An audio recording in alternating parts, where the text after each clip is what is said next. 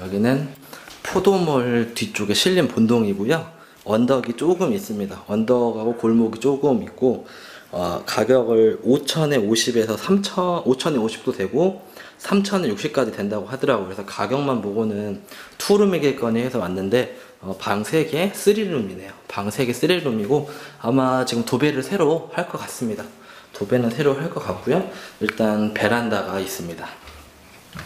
아무래도 연식이 있는 집이다 보니까 베란다가 베란다가 작지 않게 작지 않은 크기로 베란다가 있고요. 여기 방 하나 있고 그래도 바닥도 뭐 이 정도면 그냥 무난하고요. 싱크대도 깔끔합니다.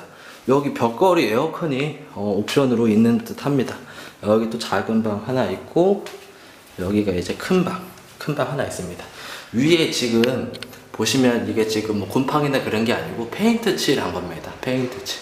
페인트 칠해서 음, 페인트 칠하고 이제 새로 도배를 아마 하지 않을까 그렇게 예상이 됩니다. 그러니까 이 위에 검은 게 어, 뭔가 궁금해 하실 것 같아서 그렇게 보시면 되고 크기를 아, 화장실도 한번 음, 보겠습니다. 화장실, 음, 화장실 이렇게 돼 있습니다. 화장실 이렇게 돼 있고 일단 작은 방의 크기부터 한번 봐볼게요. 2m, 2m 10에 2m 90. 요, 요렇게 봤을 때, 이렇게 가로가 2m 90이고, 요렇게가 어, 2m 10 나옵니다. 작은 방의 크기입니다. 작은 방. 작은 방의 크기고, 그리고 중간 방, 베란다가 연결되어 있는 음, 중간 방. 요 벽에서 요렇게가 3m 20. 그리고 저 이렇게 이렇게가 2m 50 나옵니다. 2m 50 나오고 아, 큰 방은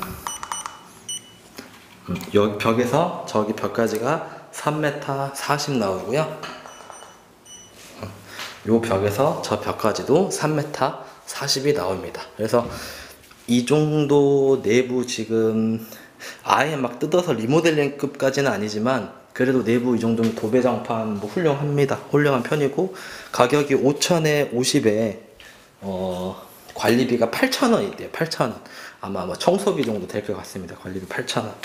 여기 지금 거실은 뭐 TV 소파 둘만한 그런 구조는 아니죠. 그런 구조는 아닌데 5천에 50 치고 저는 괜찮다고 봐요. 물론 여기가 이제 언덕도 조금 있고 어, 골목도 조금 있긴 있습니다. 그래서 조금 역세권 평지보다는 조금 음, 가격이 저렴한 거는 맞습니다.